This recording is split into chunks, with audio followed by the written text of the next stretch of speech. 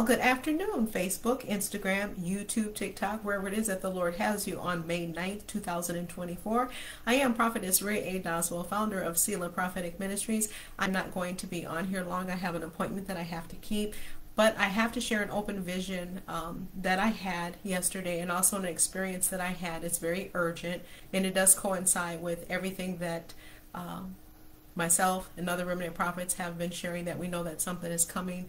I do not know specifically what the specific um, event is, but I just know that God has me on high alert. So let me share with you what transpired um, yesterday, okay?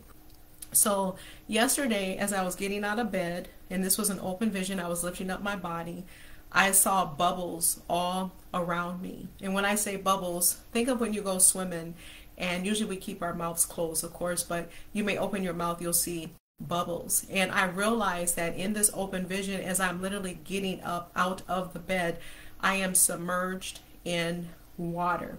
That is the vision. And then the vision ends, okay? So what basically the Lord is saying is that there is something coming and I don't know specifically for sure what event out of all the events that we have been shown over the years what is coming. I do know because of the dream that the Lord had shared with me and I shared with you as the body of Christ pertaining to the whirlwinds that those whirlwinds, as I said in the dream and vision, would be events and they would be like layers built upon one another and they would happen right on top of one another nonstop. And that is exactly what we are witnessing all across this nation and even across the world. And it is our responsibility as his children that even though he is warning us, we need to take authority over certain elements. We need to be covering our states, our cities, our nations in the blood of Jesus and asking God for a hedge of protection, asking God for people to come to a place of repentance but this experience that I had yesterday, it's so concerning because it reminds me of a vision, I'm sorry, of a prophetic dream that I had shared on him many, many, many years ago and on the ministry page of when I was placed um, on Venice Beach, which I'm very familiar with because I lived in Southern California. And in that prophetic dream, this is what this dream reminds me of being submerged underwater. Um, but one of the distinct differences was that it was nighttime. It wasn't daytime, like when I was visited with the visitation on Venice Beach. And that visitation, if you recall, remember I said it felt like it could be morning, maybe mid-afternoon, and out of nowhere this wave came out of the ocean and it was at least anywhere from 200 to 300 feet tall. And I literally saw souls submerged in the force of this water and God allowed me to be placed in the water. And yes, it was a very frightening experience. It was frightening because I literally could see souls fighting with every ounce of their life to try to get out of the force of this water. But that was not what was going to take place. They were literally in the process of transitioning from this life into eternity. Okay, so that's how it felt when I was getting up out of bed yesterday, that I was submerged. Imagine that you laying in your bed and you wake up and of course you see your walls if you have art. But I literally was getting up and I literally was underneath water and it was nighttime. And it is a warning from the Lord. The other thing um, I want to share with you is that I was sitting at the table eating lunch um, today. And when I tell you I felt the Lord was so grieved at the generals in the body of Christ.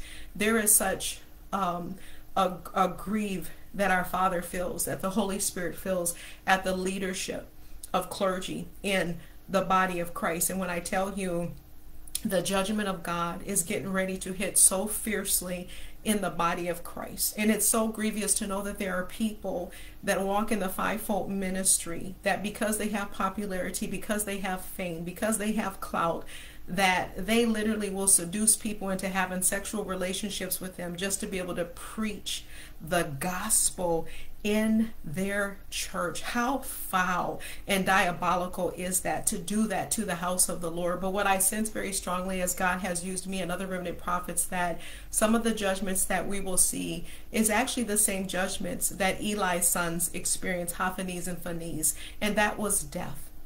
The judgment was death because the behavior was so, so foul. Yes, God desires all men to come to repentance so that He can give them deliverance and restoration. But there are so many people in the body of Christ, as I have said years ago, that ministry for a lot of people is a game. This is a game. And what's sad, what they don't realize is that it is a game. It's a real serious one and it has the ultimate judge who's in control of it. And what people don't realize is that not only does he have the power to judge you in this life, he will judge you in eternity as well. But we're not going to play with his house anymore. We're not going to play with his fire. And we're definitely not going to play with the souls that he's allowed us to um, sometimes teach, prophesy, to help aid, to assist in their walk with God, and think that we are going to get away with doing ill things and not be held accountable by Him. No, it is, as the Lord said months ago, the spirit of consequence is in the land. And oh, when I tell you the clergy that the Lord is getting ready to come for. Remember that prophetic warning that I gave in 2017 and some people laughed at it, but it surely came to pass, did it not? When the Lord said, Rhea, I'm coming for these leaders and they will have orange jumpsuits on. Remember what the Father said he was going to do? He was going to strip them of their economies where they have exploited the body of Christ. He is going to strip them of the fancy clothes, the cars, the status. He was going to strip them and put them in orange jumpsuits. Why the orange jumpsuits? Because that represented being incarcerated. Because some crimes that you commit, fraud, some some crimes that you commit, yes, you can be held accountable by the law for committing fraud, sex trafficking, whatever it is. The thing is that God always visits every child of God in private to deal with whatever issues you need to deal with. You need deliverance, you need counseling, you need to be um, at a point where you can be held accountable in ministry, where you are not an island unto yourself and you just don't get to do anything that you want to do. And so I am telling you that the generals in the body of Christ, that what we are classifying as generals, they are coming down and it will be by the hand of the Lord. Okay, so he wanted me to share that with all of you. I want to give you some scriptures in Acts chapter 17. It says, And the times of this ignorance God winked at, but now commandeth all men everywhere to repent, because he have appointed a day in the which he will judge the world in righteousness by that man whom he have ordained, whereof he have given assurance unto all men, and that he have raised him from the dead. Luke 17 26 says, And it was, and so it is, in the day of Noah, so shall it also be in the days of the Son of Man. James 3 1 English Standard Version says, Not many of you should become teachers, my brothers, for you know that we who teach, we will be judged with greater strictness. Okay? So it is always God's will that we repent.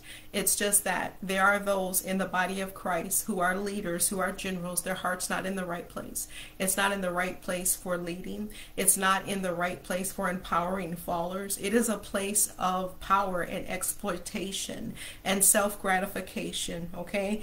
And because of that, it has led many down very, very dark paths. And oh, what I tell you, to feel our Heavenly Father's grief at what is going on.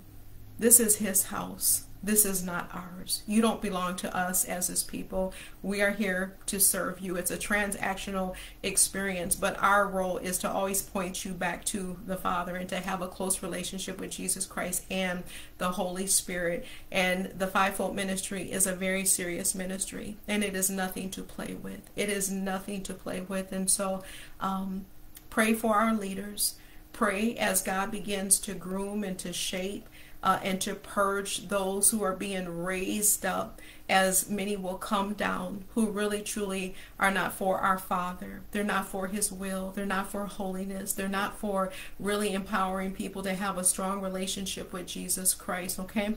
All right, you guys have a blessed afternoon. Stay alert, stay discerning for your regions. Okay? Bless you.